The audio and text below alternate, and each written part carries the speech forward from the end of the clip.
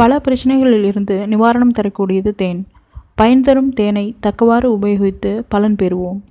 தேனும் வெந்நீரும் கலந்து பருகினால் பருத்த உடல் மெலியும் ஊளை சதை குறையும் உடல் உறுதியடையும் எலுமிச்சை சாற்றை தேனுடன் கலந்து அருந்தினால் வாந்தி குமட்டல் ஜலதோஷம் குறையும்.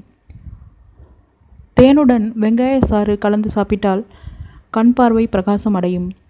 இருமல் சளித்தொல்லை நுரையீரல் தொடர்பான நோய் எதுவாக இருந்தாலும் பார்லி கஞ்சியை வடிகட்டி அதில் தேன் கலந்து சாப்பிட இருமல் மட்டுப்படும்.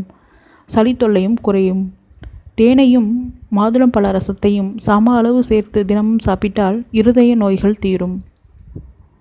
தேனுடன் சுண்ணாம்பை கலந்து நன்றாக குழைத்து பழுக்காத கட்டிகள் மேல் பூச கட்டிகள் பழுக்கும். மீன் எண்ணெயோடு தேனை கலந்து உண்டு வந்தால் ஆறாத புண்கள் ஆறிவிடும். கருஞ்சீரகத்தை நீர்விட்டு காய்ச்சி அதில் தேன் கலந்து சாப்பிட்டால் கீழ்வாதம் போகும். வயிற்று வலி ஏற்பட்டவர்களுக்கு தொப்புளை சுற்றிலும் தேன் தடவினால் தொந்தரவுகள் குறையும் கல்லீரல் வலுவடையும்.